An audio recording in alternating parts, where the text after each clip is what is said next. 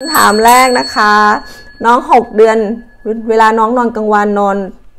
ครั้งละหนึ่งชั่วโมง วันหนึ่งประมาณสามถึงสี่ครั้งเกิดจากอะไรคะ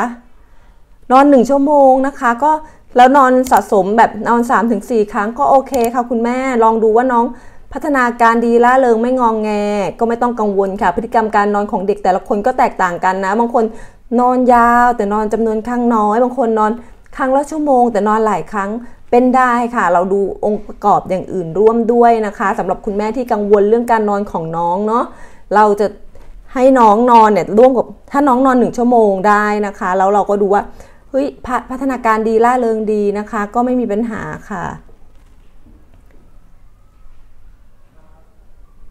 มือแรกของลูกควรเริ่มจากอะไรได้บ้างคะ นอกจากข้าวบดผสมนมที่ลูกทาน เออพี่กันแนะนำว่าให้เป็นเนื้อ หมูเนื้อไก่นะคะ ข้าวนะคะ น้ำซุปนะคะ ต้มน้ำซุปนะคะหรือเป็นเนื้อหมู เนื้อไก่บดละเอียดนะคะคลุกกับข้าวพร้อมกับน้ำซุปนะคะ คือมื้อแรกต้องปั่นละเอียดนะคะ หรือว่าบดละเอียดนั่นเองค่ะ อันนี้เป็นมื้อแรกให้กับลูกได้นะคะ แล้วก็ใส่ผักเป็นพวกผักกาดนะคะ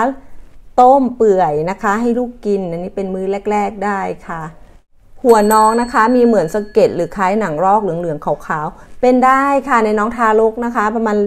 เดือนถึง 3 เดือนแรกเนี่ยบางครั้งนะคะ ลูกจะเป็นเหมือนอันเรียกง่ายๆภาษาชาวบ้านเขาจะบอกว่าชันตุชันตุนะคะ เป็นสะเก็ดที่หัวนะคะ วิธีการนะคะ วิธีการแก้ปัญหาเรื่องของสะเก็ดเหลืองๆที่หัวนะคะ ให้เราใช้ baby oil นะคะ หรือน้ำมันมะกอกทาชโลมทิ้งไว้ค่ะ ประมาณ 2-3 ชั่วโมง ก่อนที่เราจะสระผมนะคะ ก่อนที่เราจะสระผมเนี่ยพอทาทิ้งไว้แล้วเราก็ใช้หวีของน้องค่ะสางค่ะเบาๆนะคะ ไม่ต้องไปคูดแรงนะคะ เดี๋ยวเจ็บค่ะ แล้วก็สระผมเช็ดแห้งค่ะทำแบบนี้ค่ะมันจะค่อยๆ หลุดไปเองค่ะ คุณแม่นะคะ ไม่เป็นอันตรายค่ะ เนื่องจากว่าต่อมไขมันที่ที่ศีรษะน้องช่วงทารกเนี่ยจะทำงานค่อนข้างเยอะนะคะ แล้วทำงานยังไม่ค่อยดีทำให้มีต่อมไขเอมีการสร้าง สเก็ตที่เป็นไขมันนะคะคำถามต่อไปนะคะ คุณแม่ฐานิตาน้อง 4 เดือนกว่าหนัก 6โร3นะคะ ปกติกินนมครั้งละ 4 ออน 6 มื้อ ตอนนี้จะ 5 เดือนแล้วจะให้น้องกิน 5 ออนได้ไหมคะ เด็กนมแม่นะคะ แสดงว่าน้องดูดขวดเนาะ6.3 นะคะ ให้น้องกิน 5 ออนได้ไหม 5 เดือน ให้กินได้เลยจ้า